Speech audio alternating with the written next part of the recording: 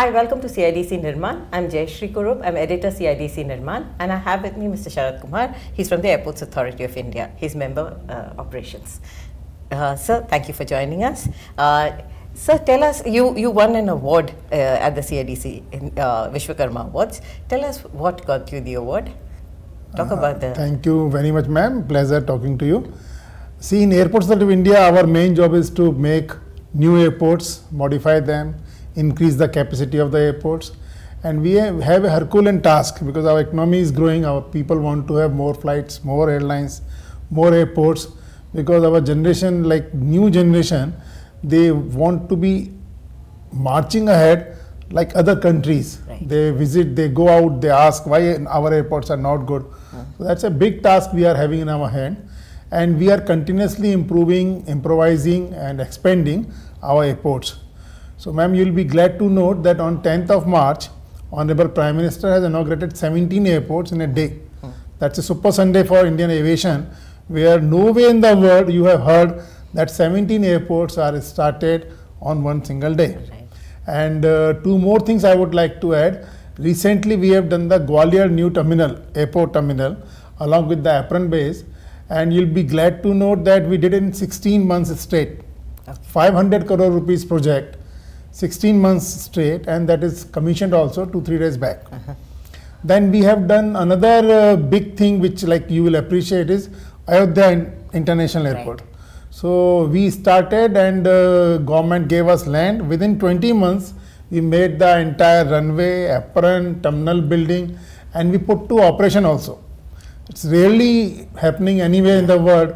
That same day we start operations also, and then rest is the history. You have seen lakhs of people are coming Yeah. uh, to Ayodhya to have darshan of Ramlala.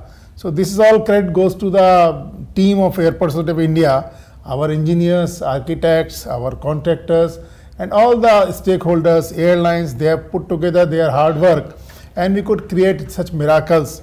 And every day it's happening.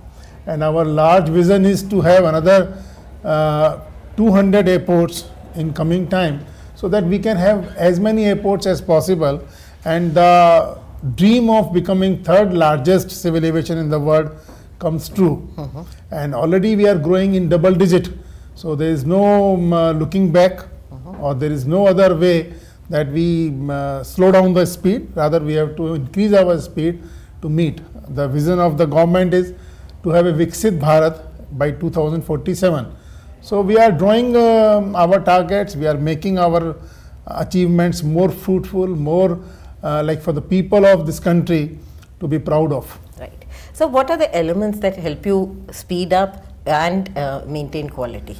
Ma'am, there are three, four stages actually. If Yeah. any project, you must have the uh, right type of planning. So you have to have understanding of what size of terminal, what size of runway. Then there are a lot of obstacles. Once you start the work, you come to know that uh, there are some high-rise buildings or chimneys or electrical time transmission lines.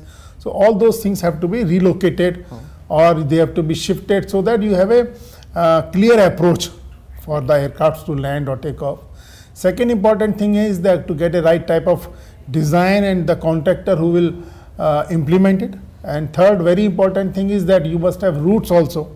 The place should have a catchment so that airlines feel comfortable or business, uh, what do you call sustainable business model for them to fly to that place. Then the last, the least point is that affordability.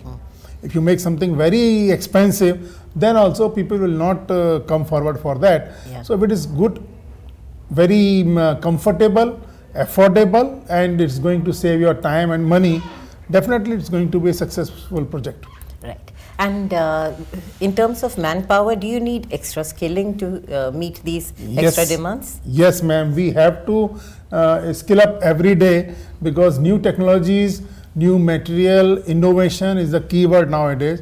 Unless we do all that, we are not going to achieve our targets. So we have to see that how uh, we use uh, sustainable material, recyclable material, so that the cost, project cost comes down.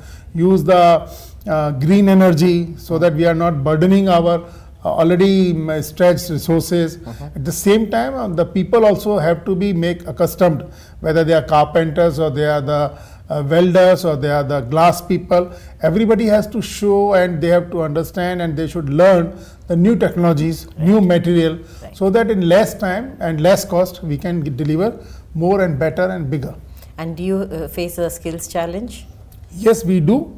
We do face challenges and we keep our uh, stakeholders and we do a lot of uh, workshops and training and uh-huh. training modules to for our people also for external stakeholders also to learn and understand uh-huh. different models different type of contracts and how to like uh, sum up everything so that the uh, the product is good uh-huh. it is uh, cost effective and it is uh, appreciable by all congratulations so much sir thank you so much for thank talking you to ma'am. us thank you thank you lovely talking to you